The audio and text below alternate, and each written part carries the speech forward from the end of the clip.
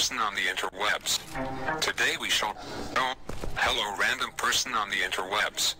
Today we shall put to rest this ancient problem.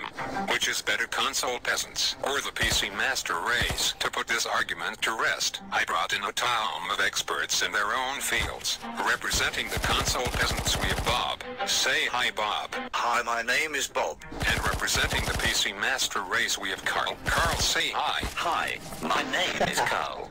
I am representing the PC Master Race. Hashtag, my graphics are better than real life. He said say hi, not write a book, you idiot. I would get easily mad too if I was caped at 60 FPS. 1v1 me rust.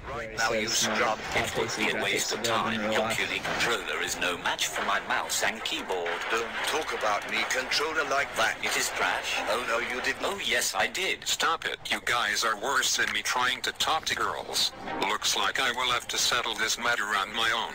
Time to turn on my Illuminati skills, boys. It is 2015. Trump is running for president. Trump has money. PCs cost a lot of money. Coincidence? I think not. Let's go further. 1 plus 1 equals 7. There are 7 letters and friends. I think we are onto something. PC Master Race don't go outside. If you don't go outside, you don't have friends. Yes, you know what this means? PC Master Race can't be the that the peasants win. Consoles are better than PC. Wait, what?